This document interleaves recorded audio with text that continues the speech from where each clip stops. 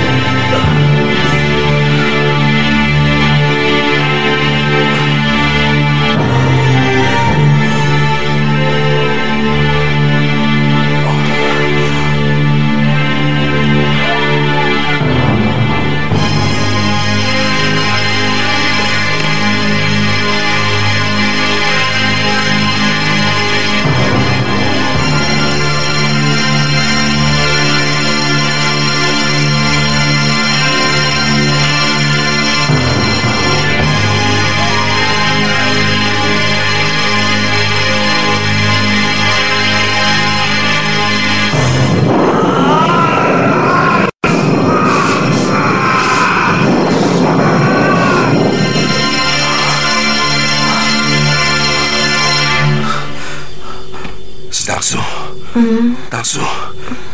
Sitarsu. Bangun. Ada apa kakak? Aku mimpi sangat aneh sekali. Aku naik ke atas tebing yang sangat terjal sekali. Tapi dengan susah payah, akhirnya aku bisa sampai ke atas puncaknya. Waktu aku berdiri di atas puncak tebing itu, tiba-tiba rembulan turun sampai hampir menyentuh kepalaku. Rembulan itu berwarna merah darah. Apa artinya? Saya kurang mengerti tentang mimpi kakak. Kita tanyakan saja ibu kakang sendiri.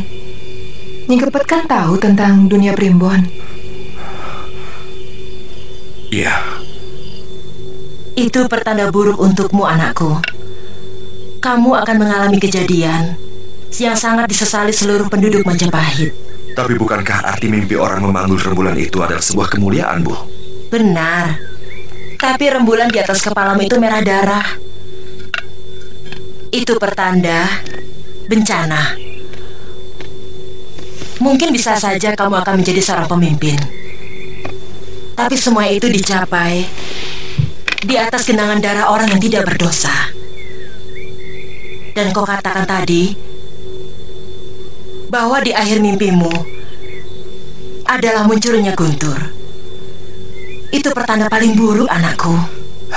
Tapi kata orang, gelegar guntur menandakan berita yang menghebohkan. Berita yang mengejutkan, Bu. Hentikan cita-citamu itu, anakku. Jangan coba melawan Surata Dewata. Bu, tolong katakan arti sebenarnya dari mimpi itu, Bu. Anggayo Eng Tawang. Kamu memang berdarah Arya. Tapi kamu bukan terah raja. Tidak tidak mungkin kalau Dewata mengendakinya, Bu. Ken harus seorang sudra.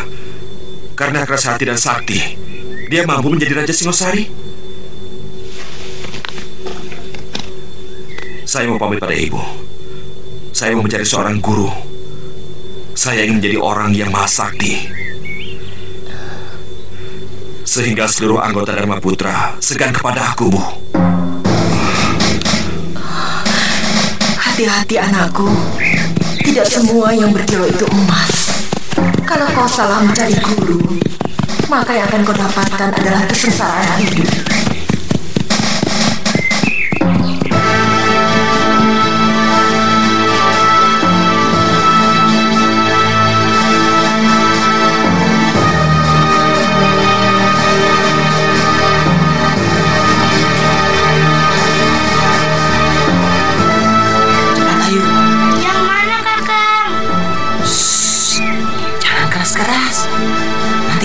Kedengaran prajurit Bayangkari Raja.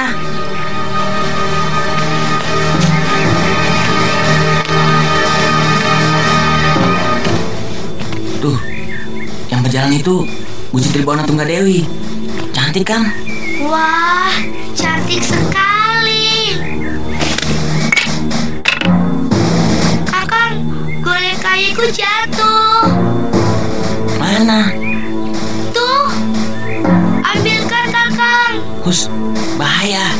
Kita bisa ditangkap dan dipenjara. Tapi Ayu tidak mau kehilangan golek kayu itu. Ayu tidak bisa hidup tanpa golek kayu itu. Jangan macam-macam, ayo. Nanti kakak buatkan yang lebih bagus.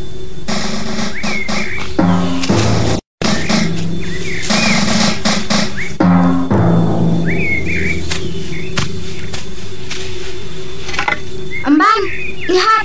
Golek kayu ini bagus sekali. Lihat mata, hidung dan bibirnya seperti hidup. Jangan, itu golek kayu punya saya. Eh, siapa kalian? Berani-beraninya mengintip keputren. Panggil penjaga cepat. Siapa kalian? Ampunkan kami, Gusti Dewi. Adik hamba ini ingin sekali melihat kecantikan Gusti Dewi. Kalian tahu apa hukumannya untuk orang yang berani memanjat tembok kaputren? Golek kayu itu milik saya, Gusti Dewi. Oh ya? Tapi karena golek kayu ini sudah jatuh ke tempatku, maka golek kayu ini jadi milikku. Gusti, jangan! Itu sahabat saya! Jangan diambil, Gusti! Gusti Dewi! Kamu lagi, Panji.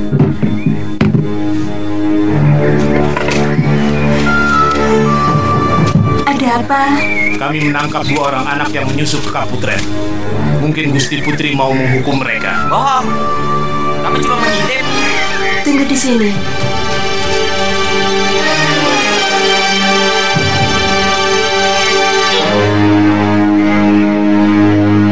Hmm, kembalikan kayu saya. Itu saya, Gusti. Ayo, jangan. Singkir. Kembalikan golek kayu saya. Kembalikan. Itu golek kayu saya. Kembalikan golek kayu saya. Kembalikan. Kembalikan golek kayu saya. Kembalikan. Anak siapa mereka? Mereka keluarga Arya Kamandanu Gusti Putri. Salah seorang Senopati Agung Majapahit. Katakan kepada orang tuanya, pelanggaran yang dilakukan kedua anak itu, aku masih bisa memaafkannya. Baik Gusti. Kembalikan golek kayu saya! Kembalikan! Kembalikan golek kayu saya! Kembalikan!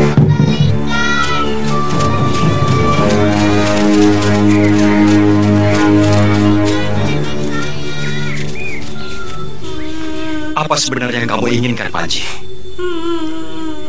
Apa kamu mau pamanmu dipecat dari kedudukan sebagai Senopati Majapahit? Nanti Bibi belikan golek kayu penggantinya yang lebih bagus. Di pasar Majapahit banyak kok yang jual. Ayu tidak mau. Ayu hanya mau golek kayu mandana. Dia sahabat Ayu. Dia teman tidur Ayu. Hanya dia yang tahu apa yang Ayu inginkan. Ayu, apa Ayu tidak kasihan sama paman? Kasihan. Tapi Ayu tidak bisa pisah sama golek kayu mandana. Ayu tidak betah tinggal di sini. Orangnya jahat-jahat. Gusti Putri yang cantik itu juga jahat. Ayu benci Majapahit.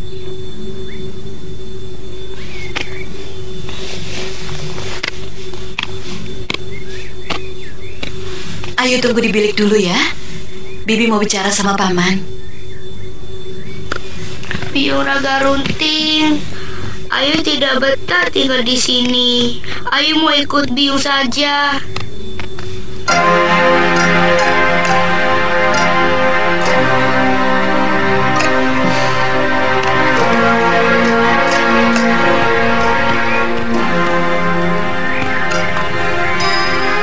Bagaimana kalau saya coba menghubungi Gusti Raja Patni ataupun Gusti Tribuana Swari untuk memintakan golek kayu itu, Kakang?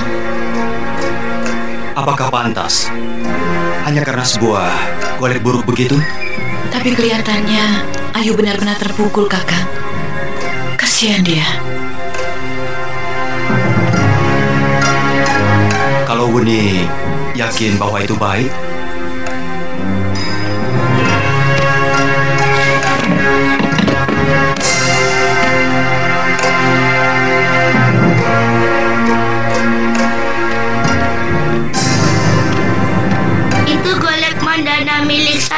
saya, Bibi Wuni.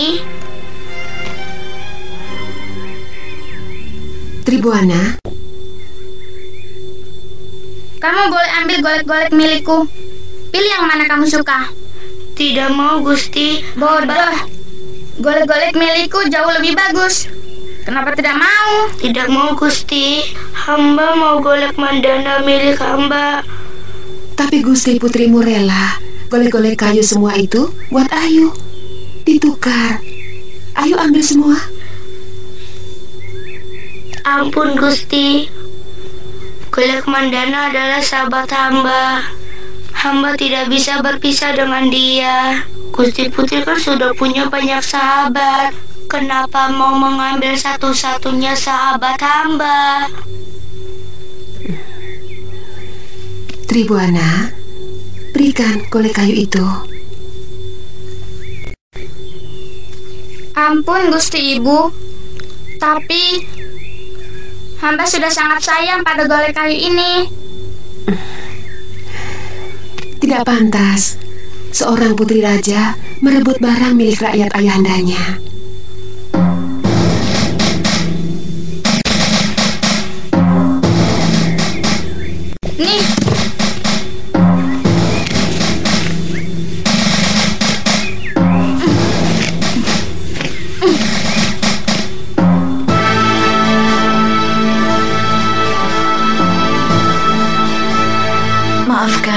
Maafkan kami, Gusti Ratu. siapa?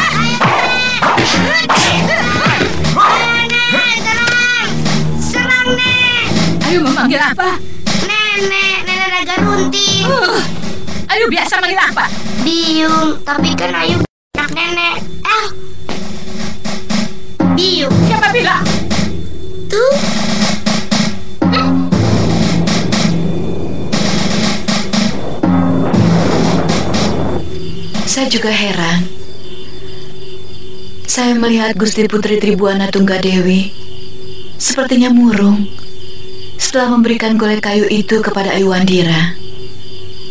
Saya cemas bisa terjadi hal-hal yang tidak menyenangkan atas diri Ayu atau malah atas seluruh keluarga kita. Benarkah kata Ayu? Golek itu pemberian Nini Raga Runting? Iya, waktu berpisah di rumah Nini Mesin. Jangan-jangan golek kayu itu sudah dilambari mantra pemikat oleh Nini Raga Runting. Buat apa, Kakang? Mungkin supaya Ayu Wandira bisa melupakannya. Dia tahu bahwa sebenarnya Ayu Wandira tidak bisa berpisah dengannya. Sementara kelihatannya dia tidak betah tinggal di kota. Bisa jadi begitu. Buktinya bagaimana mungkin Gusti Putri Tribuana Tunggadewi bisa menyukai golek kayu yang sangat kotor dan tua itu.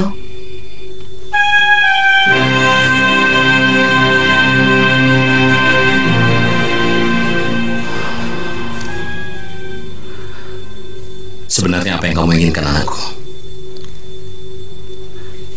Katakan pada ayahmu. Ayah tidak mau kecantikanmu akan surut karena sakit. hamba tahu apa yang hamba inginkan. Tidak mungkin Ayanda bisa mengabulkannya. Apa yang ayahmu tidak bisa lakukan untukmu? Ayah seorang Prabu. Dan ayah sangat menyayangimu.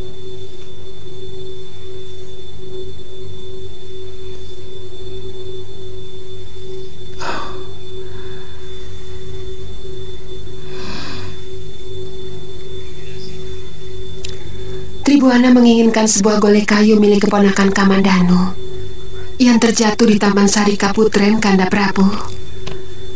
Tapi pemiliknya tidak mau memberikannya, bahkan tetap menolak, walaupun akan ditukar dengan semua golek kayu milik Tribuana.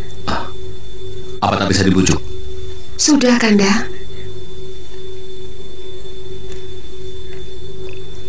Apa tidak kita paksa saja Sakauni untuk menyerahkan kembali golek itu ayahanda? Rakyat macam apa yang tidak mau berkorban untuk putri rajanya? Inikah pikiran seorang Yuwa Raja Jayanegara? Apakah ini pikiran seorang calon penggantiku? Salahkah pendapat hamba itu ayahanda? Bukankah semua kehendak raja harus dituruti rakyatnya? Dan semua perintahnya harus ditaati? Yang harus dituruti adalah kehendak untuk kemakmuran negerinya. Yang harus dituruti adalah perintah undang-undang negerinya. Dan apa yang kau lakukan tadi adalah kesenang-wenangan Jayanegara. Dan kalau seorang raja bertindak dengan sewenang-wenang, apa bedanya dia dengan kepala rampok?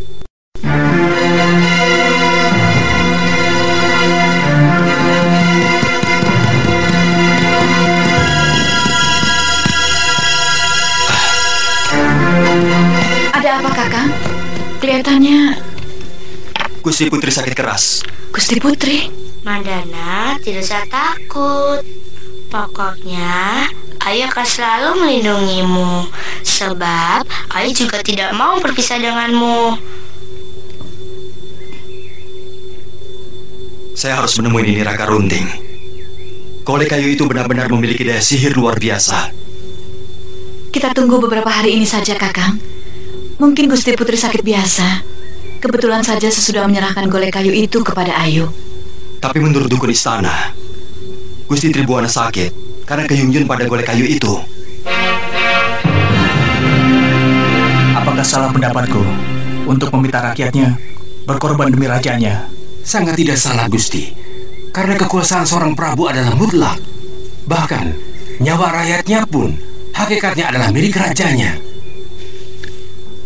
Kalau Gusti memerintahkan, hamba bersedia untuk merebut golek kayu itu dari keponakan Kamandanu. Tapi bagaimana kalau paman Kamandanu menghalangi? Itu artinya kesetiaan Kamandanu pada raja patut disangsikan. Dan kalau nanti Paduka sudah dinobatkan menjadi Prabu, mungkin orang seperti itu patut disingkirkan. Aku akan sangat berterima kasih sekali kepada kalian kalau bisa menolong adikku yang sangat kucintai.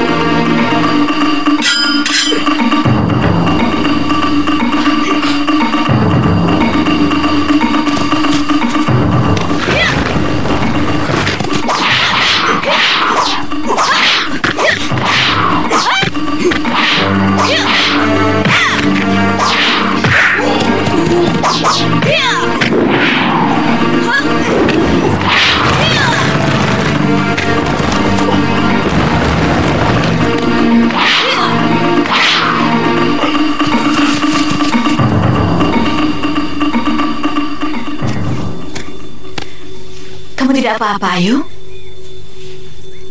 Orang-orang itu jahat.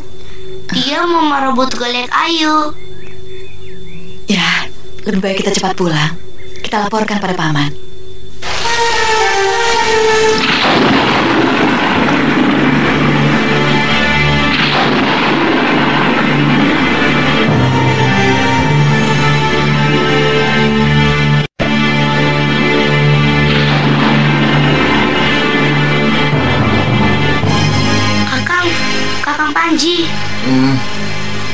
Takut, Kang. Ada geluduk. Kakang bangun dulu. Temani Ayu. Ayu takut geluduk. ayo. Jangan ganggu Kakang Panji. Aku ngantuk. Oh, Kakang, bangun dulu.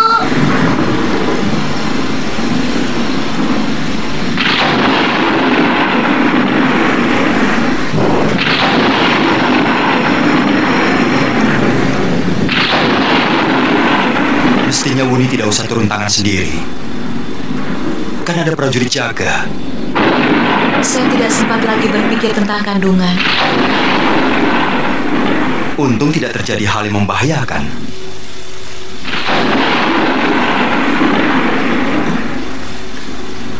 Kakang tadi mau mengatakan tentang keadaan Gusti Tribuana. Iya. Menurut Ratanca, kesehatannya semakin menurun. Gusti Putri masih terus mengigau memanggil-manggil golek kayu itu. Gusti Raja Patni khawatir kalau sampai putrinya menjadi gila. Sementara sebagai raja yang bijak, Gusti Prabu tetap tidak mau meminta ataupun merampas golek kayu itu dari tangan keponakan kita. Cobalah Kakang bujuk lagi. Mungkin Ayu bisa berubah.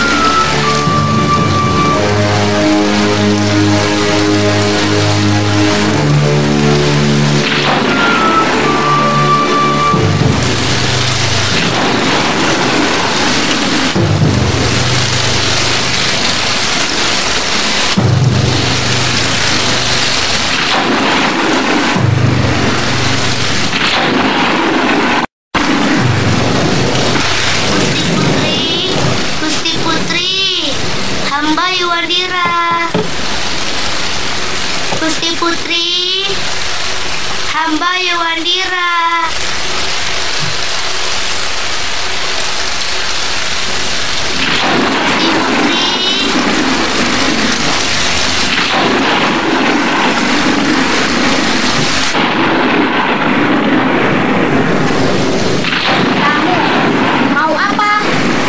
Mau menyerahkan golek kayu mandana ini, Gusti Putri? Mengapa kamu tiba-tiba mau menyerahkan golek kayu itu kepadaku? Hamba mendengar, Gus, hamba mendengar Gusti Putri sakit. Terus terang, hamba tidak enak kalau sakit Gusti karena golek kayu hamba. Apa pedulimu? Aku benci kepadamu. Pergi kamu dari sini, atau aku panggilkan pengawal untuk menangkap dan memenjarakanmu.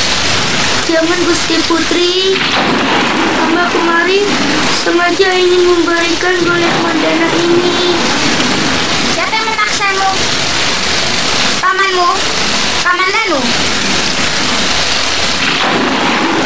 Bibi Sakauni? Dengar, Gusti Putri sakit. Pasti tidak bisa tidur karena berpisah dengan golek mandana. Dia memang menyenangkan. Hamba rela golek mandana ini untuk Gusti. Tidak, Ayu. Pasti kamu lebih membutuhkan golek kayu itu daripada aku. Dan kayu itu pasti sudah menjadi sahabatmu. Betul Gusti, tapi Amma sudah mengatakan padanya bahwa Gusti Putri sangat ingin menjadi sahabatnya. Betul kan Gusti? Tapi aku tidak mau. Untuk kebahagiaanku harus menghancurkan kebahagiaan orang lain. Tidak usah, Ayu. Hamba rela Gusti. Hamba ingin melihat Gusti sembuh seperti sedia kala. Tapi maukah Gusti mengabulkan satu permohonan hamba? Apa? Gusti jangan mengganti pakaian mandana, walaupun sudah sangat buruk. Juga selendangnya. Kenapa? Pokoknya, kata Bionaga Runting, tidak boleh. Siapa Bionaga Runting? Itu orang tua yang memelihara Ayu sejak kecil sekali. Oh.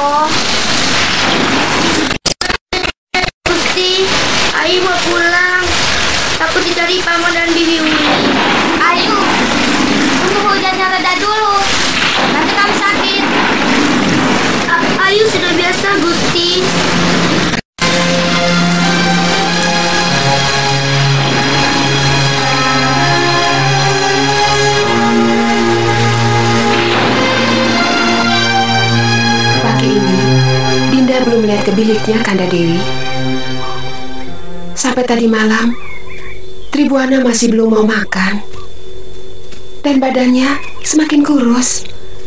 Kelihatannya putrimu terkena pelet dari pesona golek kayu itu. Tapi mengapa harus Putri Dinda? Selamat pagi, Bunda semuanya. Tribuana, Tribuana, kamu sudah sembuh anakku? Ibunda, bolehkah hamba mengajak seorang gadis cilik untuk tinggal di kaputren hamba? Siapa? Ayuandira. Bukankah dia yang telah mengecewakanmu? Ayu memberikan golek kayunya kepada hamba tadi malam. Ternyata anak itu baik sekali budinya. Dia rela berpisah dengan golek kayu kesayangannya karena tidak mau melihat hamba sakit.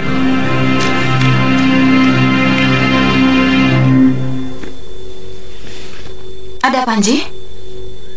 Tidak ada, Bi. Saya sudah mencari sampai ke pasar dan pinggiran hutan. Jangan-jangan dia kembali ke tempat ini Raga Runting, Kakang? Kemarin dia selalu menyebut namanya.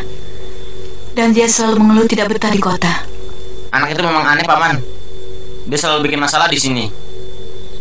Sebaiknya biarkan saja dia tinggal di rumah Nini Raga Runting. Begitu pikiran seorang kakak kepada adiknya, Panji. Sedikit pun kamu tidak merasa cemas. Adikmu hilang? Tadi malam, Ayu terus-menerus bilang ingin pulang ke rumah Nini Raga Runting, Paman. Saya sudah membilangi dia, tapi dia tetap nekat. Suruh Singkil menyiapkan kuda buat paman. Baik, Paman. Kakak mau mencari Ayu? Saya khawatir kalau dia kesasar. Randuwadon sangat jauh. Dan melewati jurang-jurang terjal. Biung, Biung Raga Runting. Ayo lapar, haus.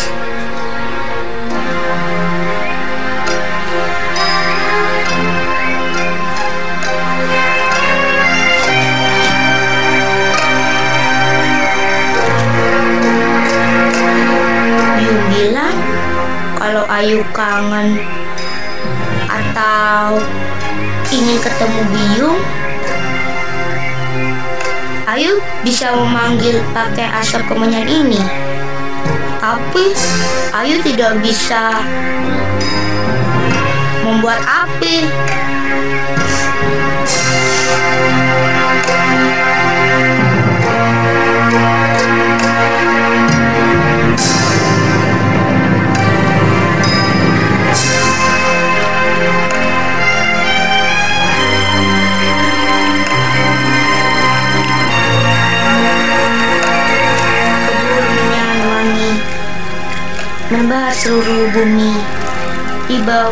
Angin menghembus hidung yang kupanggil.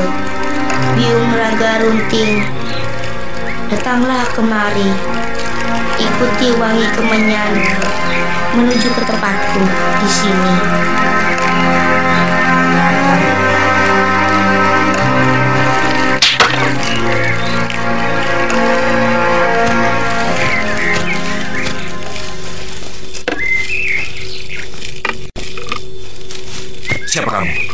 Berani-beraninya mau mencuri daging burung bakar milikku. Maaf tuan kalau itu kepunyaan tuan Saya pikir burung bakar itu sudah ditinggal yang punya Kalau boleh saya minta Saya lapar sekali Enak saja. Aku juga lapar. Hei, hei, mana kecil? Jangan lari.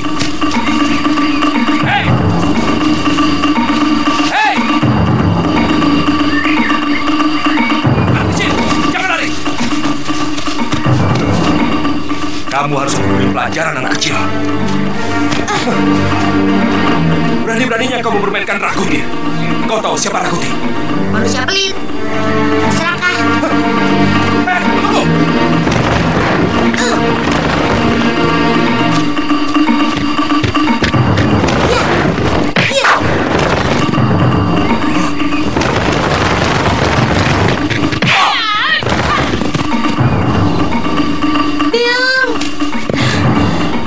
kamu cari Biung? Ada apa di Majapahit? Bertengkar dengan kakakmu ya?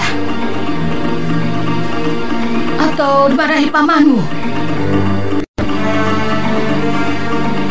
Ayu tidak betah di kota Orangnya jahat-jahat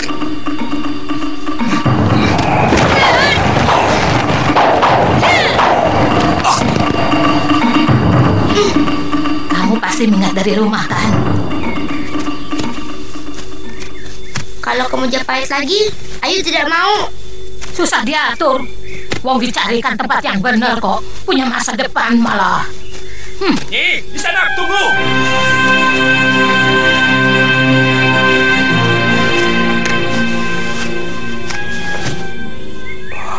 Mau apa? Mau saya keret lagi? Ampun, Nyi. Sebenarnya saya sama sekali tidak bermaksud menyakiti cucu Nyi Sanak. Terus mau apa? Jangan muter-muter. Terus terang Nyi Sanak, saya sangat ingin sekali menjadi murid Nyi Sanak. Saya... Siapa yang mau jadi guru? Orang yang adigang-adigung macam kamu. Hmm. Belum hebat saja sudah semena-mena. Malah sama anak kecil lagi. Sungguh, tadi saya hanya menakut-nakuti saja, Nyi. Saya tidak suka sama anak kecil yang suka mencuri. Hmm, itu yang paling kubenci. Kalau ilmu kanuraganmu semakin hebat, pasti untuk menekan dan menakut-nakuti rakyat kecil, memeras dan sebagainya. Hmm. Dari pakaianmu, aku tahu kamu pasti orang penting di Majapahit. Aku paling benci sama orang yang adigang-adigung. Sana, cari saja guru yang lain.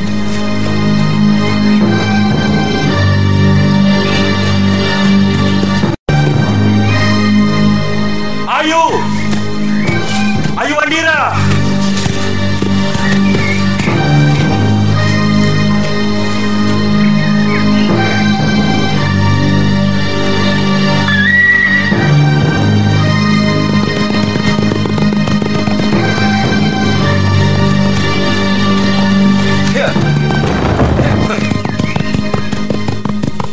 Kamandanu, kamu telah membuat binatang buruanku lari.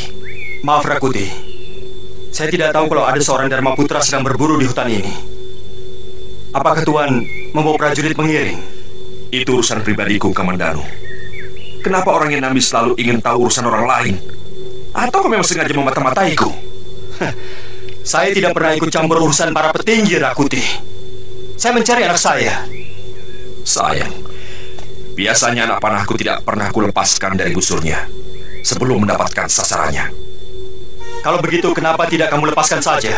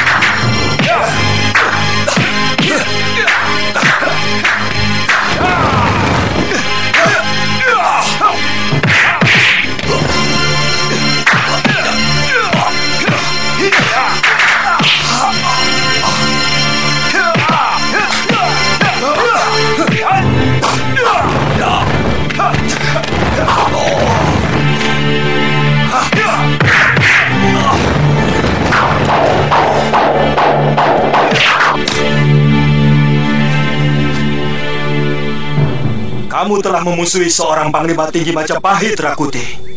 Maaf, Kamandanu. Aku hanya ingin mencoba. Apakah masih lancar jurus-jurus kanuraganku? Sudah lama tidak kugunakan. Kali ini kumaafkan, Rakuti. Mudah-mudahan bukan sebuah kesengajaan dari seorang Dharma Putra untuk berseteru dengan penggawa kerajaan. Sama sekali tidak, Kamandanu. Sungguh ini seluruhnya kehilafanku. Mungkin karena dari kemarin aku tidak mendapatkan seekor pun binatang buruan. Mungkin karena kamu tidak sungguh-sungguh berburu kijang. Saya dengar para Dharma Putra lebih suka berburu wanita desa.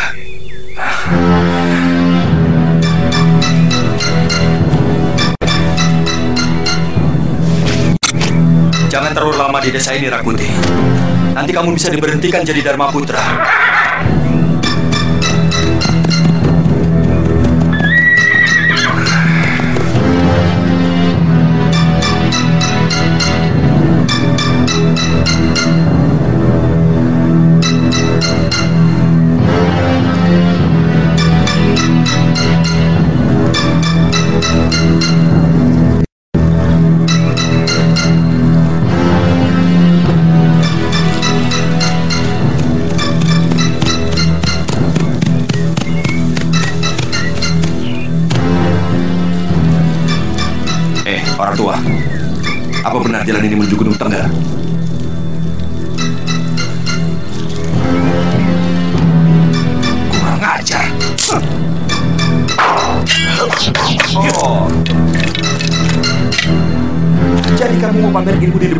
Putra Majapahit orang tua? Bagus. Hah.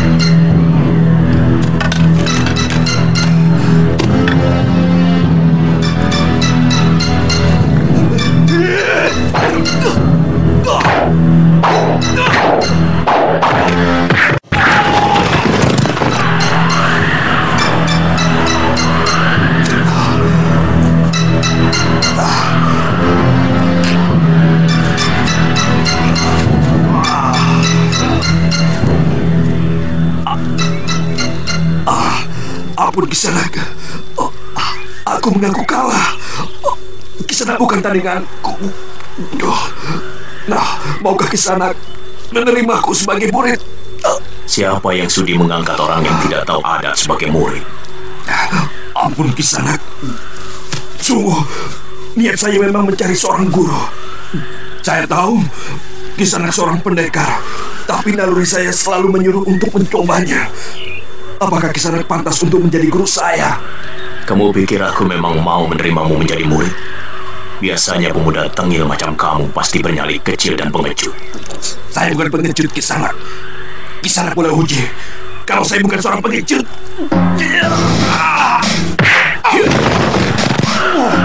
Kumbalamu.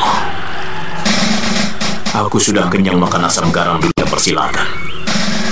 Aku sangat kenal watak manusia dari yang dungu sampai yang licik.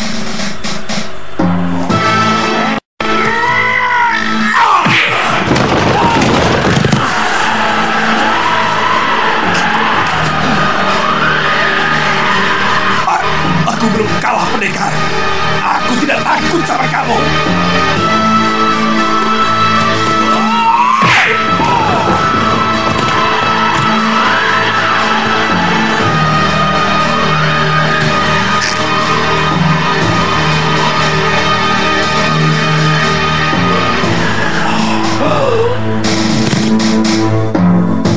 Ternyata nyalinya cukup besar. Saya tidak mampu mengendalikan nafsunya. Menarik juga dicoba menjadi muridku.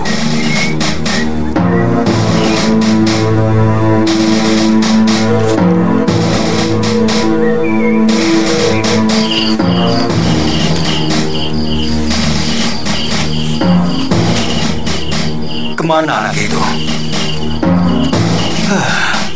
Benar-benar membingungkan. Kalau saja Sakawuni tidak sakit, pasti Aiwandira akan aku cari sampai dapat. Sudah hampir sasi Rakuti belum juga datang. Apa jawab kita kalau Gusti Prabu menanyakannya? Setahu saya, Rakuti sudah minta izin pada Gusti Prabu. Dia berniat memperdalam ilmu kedidayaannya. Katanya, sekedar menjaga-jaga.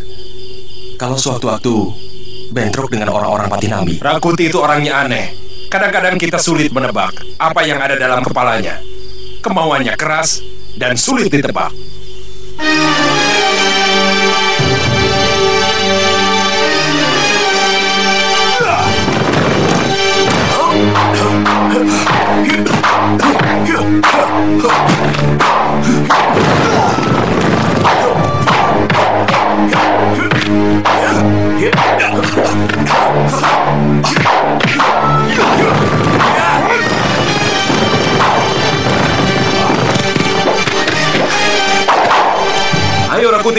Apa kamu baru bisa ngelak? Mana jurus seranganmu? Baik guru.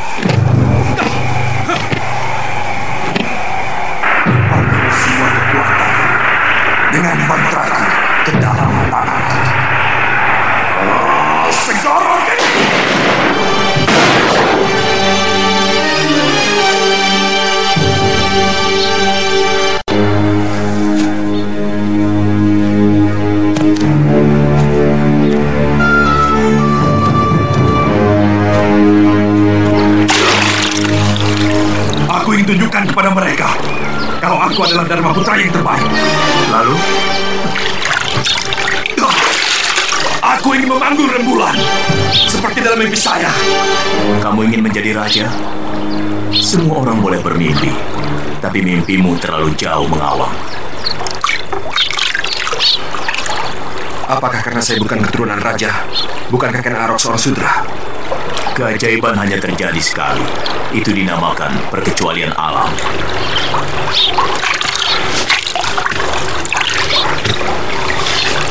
Saya mau panggil Stu Guru. Karena Karena mimpi-mimpi saya pun sebuah keajaiban alam. Satu yang harus kamu camkan. Jangan mudah percaya pada siapa pun. Kamu akan menghadapi wajah yang tersenyum. Tapi di belakangmu, puluhan keris siap menikahmu. Kamu akan sering mendapat pujian. Tapi sebenarnya, kamu sedang dimaki-maki. Apakah saya tidak bisa mempercayai sahabat-sahabat saya sama Dharma Putra, Guru? Kalau kamu memiliki rahasia, cukup kamu dan bayanganmu sendiri yang tahu. Saya pernah kenal kehidupan Kedaton yang penuh dengan tata krama. Tapi semua kebohongan dan kedengkian, kelicikan, senang bersembunyi di balik tata krama dan senyum palsu yang tersungging. Selama ini kamu melihat rampok-rampok yang senantiasa disembah, penipu yang dimintai nasihat, dan hal-hal lain yang mencicikan. Tapi sebagai Dharma Putra, mata hatimu tidak pernah menangkapnya. Kalau kamu meneruskan cita-citamu,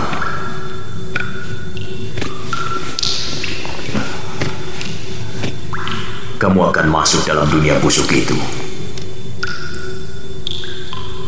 Tidak usah ragu, semua itu supaya kamu sudah siap menghadapi dan tidak pernah terkejut-kejut. Kapan kamu berangkat? Saya akan langsung ke Majapahit, Guru. Sebenarnya, sudah terlalu lama saya meninggalkan tugas. Mudah-mudahan kamu bisa menggapai apa yang kamu impikan. Meski harus melewati genangan darah.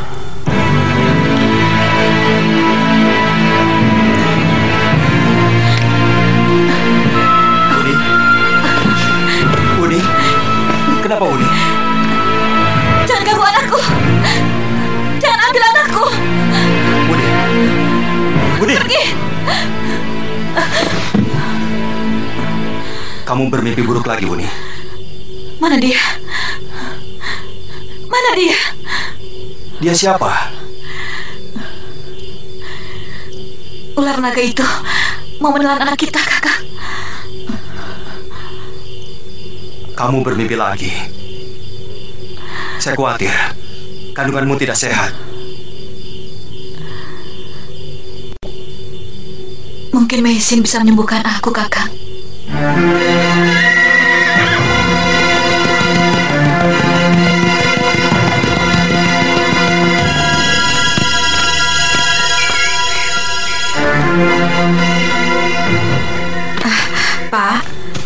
Ramuan ini tolong berikan tiga kali sehari dan usahakan anak bapak jangan banyak terlalu bergerak dulu supaya tulang yang patah cepat menyambung. Ya? Terima kasih, Nyai. Ya.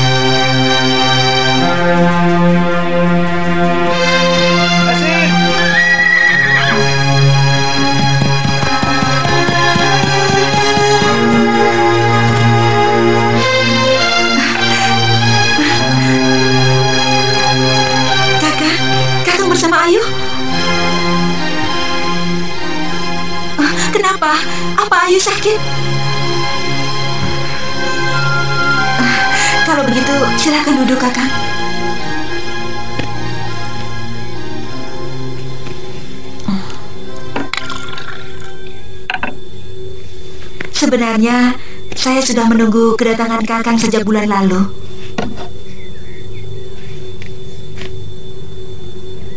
Ayu telah pergi dari rumah. Kenapa? Dia tidak betah tinggal di kota.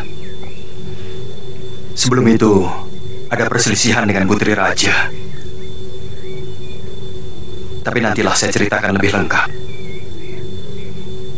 Sekarang saya butuh bantuanmu, Mesin. Sakauni sakit.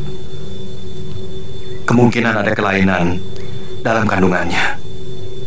Ah, apa sudah saatnya melahirkan? Baru enam bulan.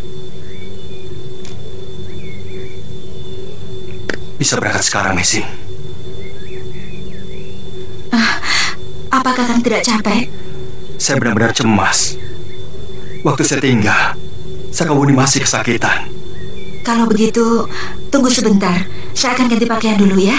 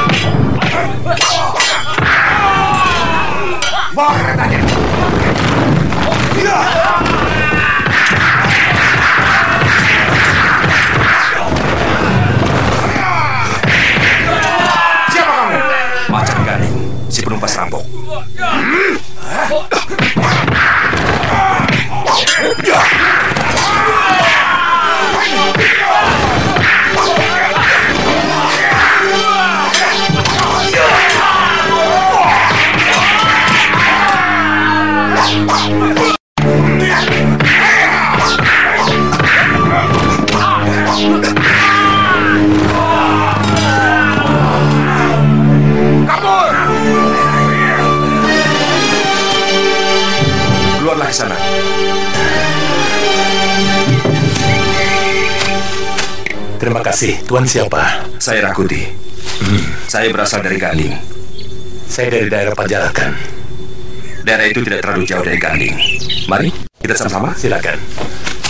Rakuti dari desa Ganding. Aduh, Den. Aduh, saya jadi bingung ini. Aduh, saya harus bagaimana ini, Den? Aduh, sabar ya, Den ya. Aduh.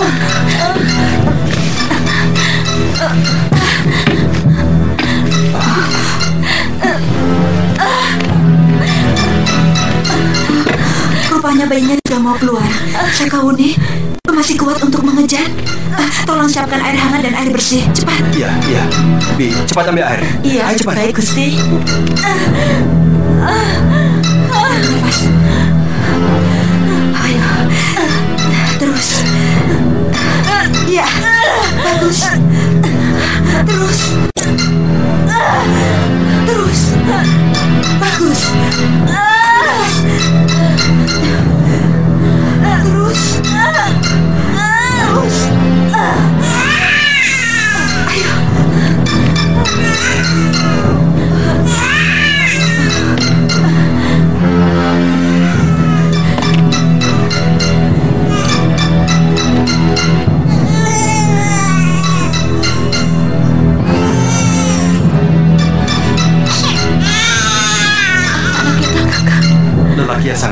Sangat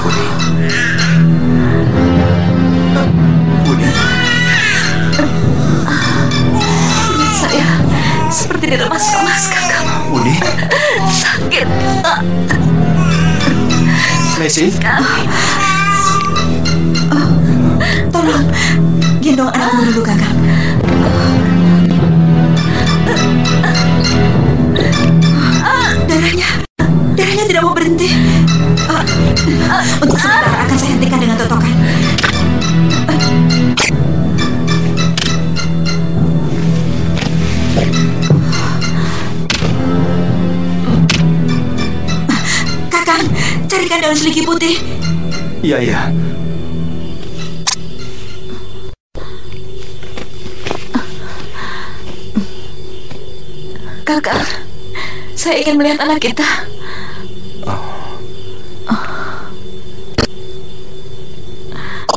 Iya. Boleh.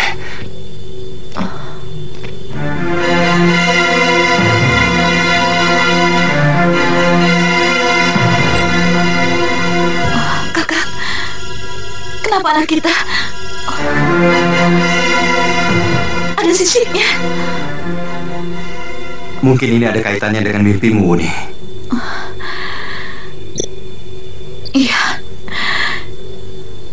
Naga yang mau menelan anak kita. Tapi apa hubunganku dengan naga itu, kakak?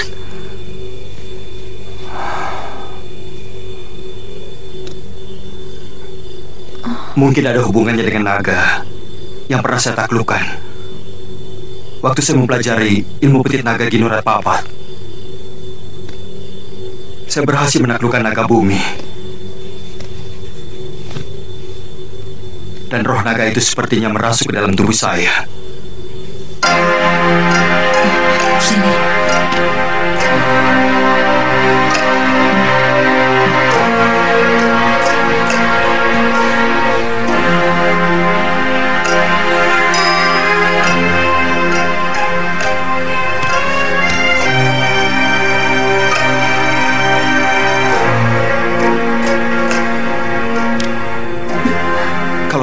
Semua terjadi karena ilmu yang saya miliki, benar-benar saya menyesal. Saya minta maaf, Buni. Kakek Sukata Brahma selalu mengajarkan bahwa apa pun yang terjadi pada diri kita adalah karma kita sendiri. Kakak tidak perlu menyesali suratan Dewata.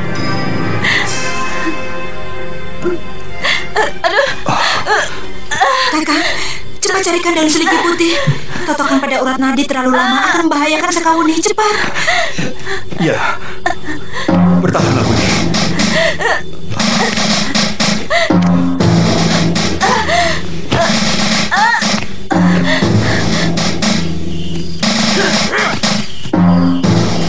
Oh, masih mau merampok?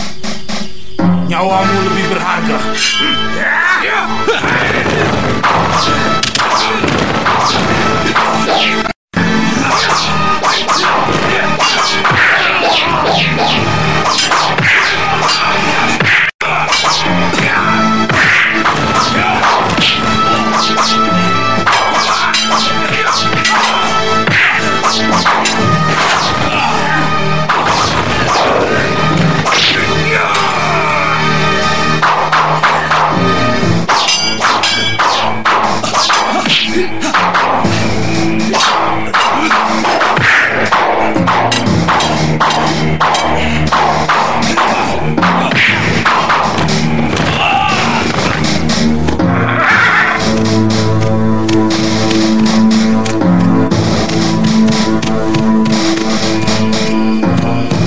cari di tempat lain. Daunnya kecil-kecil. Bergerigi. Mirip dengan daun remucung. Bedanya daun seligi putih itu sedikit berbulu. Oh, kalau tidak salah dekat sungai banyak, Tuan. Saya ke sana dulu, Tuan. Ya.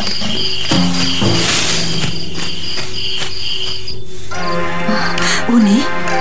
Uni? Uni?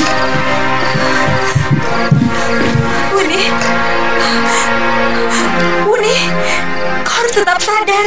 Tekanan darahmu akan lemah kalau kau pingsan. Uni? Uni? Kakak, Uni, dia pingsan.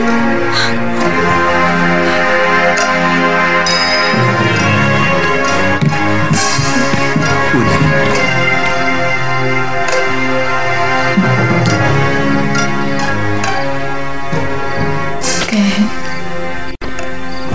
kakek sudah Kalau kamu sudah melepaskan semua yang mengganjal dalam dirimu, tidak boleh ada perasaan apa pun dalam dirimu. Sebab perjalananmu menuju kehidupan berikutnya akan penuh rintangan kalau kamu belum legolilo.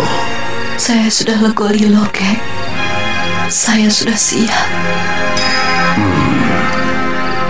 Kamu masih menyimpan keinginan-keinginan untuk tegak menguasai suamimu. Saya tidak mau. Kakang Kamandanu dimiliki wanita lain, kek. Itu yang harus kamu lepaskan. Kamu akan bisa berkumpul kembali dalam kehidupan yang lain lagi. Lepaskan Uni. Lepaskan perasaan itu.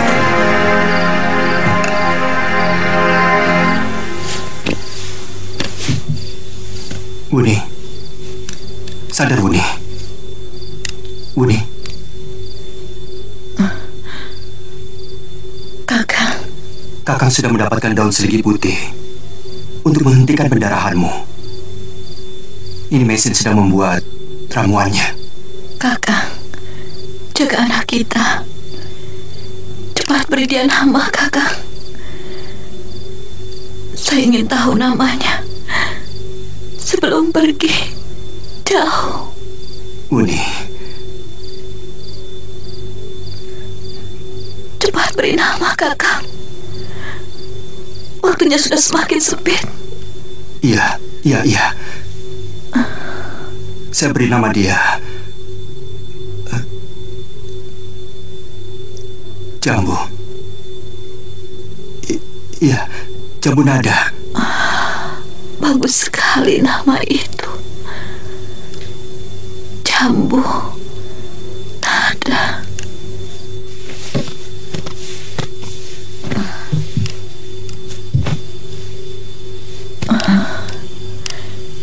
Nini Mesin. Maukah Nini memelihara anak kami?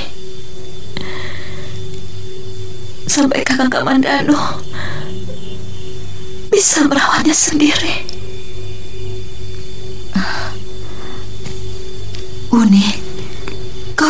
Memeliharanya. Kau harus sembuh. Minumlah ini. Ayo. Nini janji mau memelihara anak kami.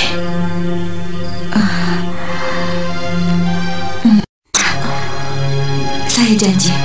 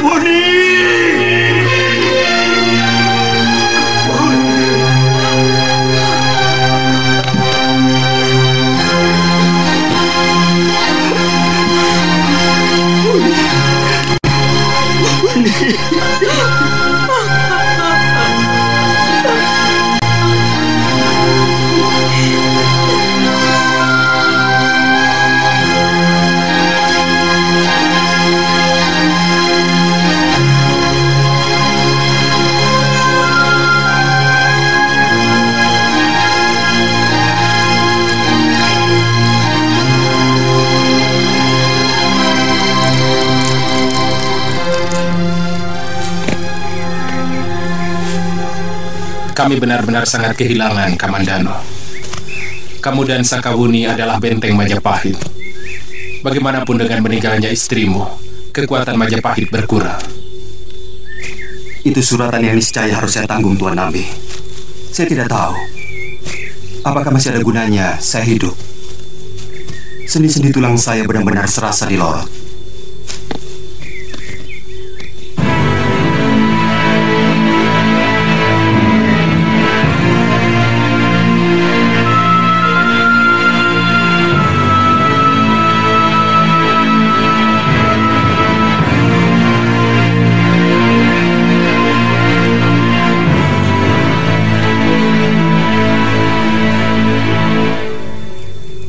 ikut bela sungkawa Kamandanu.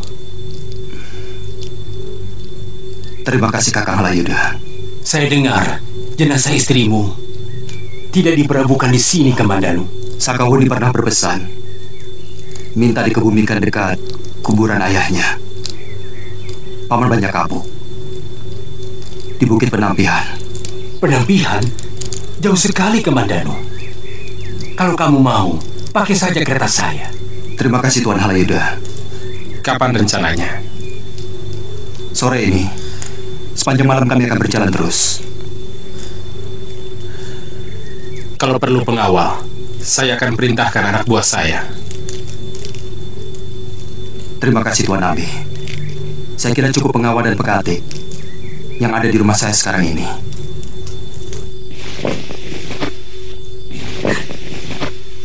Saya berjanji akan membawamu ke Majapahit. Kalau saya sudah menjadi seorang raja, saya tidak ingin diganggu oleh siapa pun juga selama saya menggapai rembulan. Saya minta pengertianmu yang tulus. Juga ibu.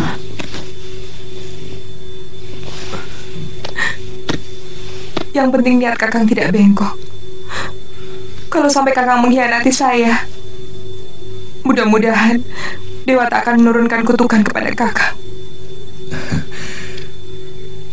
Sitangsu, mana mungkin aku bisa mencintai wanita lain selain kamu? Apa pun yang saya lakukan adalah demi masa depan kita, kan? Maka lahirlah terah baru di tanah Jawa ini. Kalau aku berhasil, kamulah permaisuri yang dapat menurunkan terah Rakuti.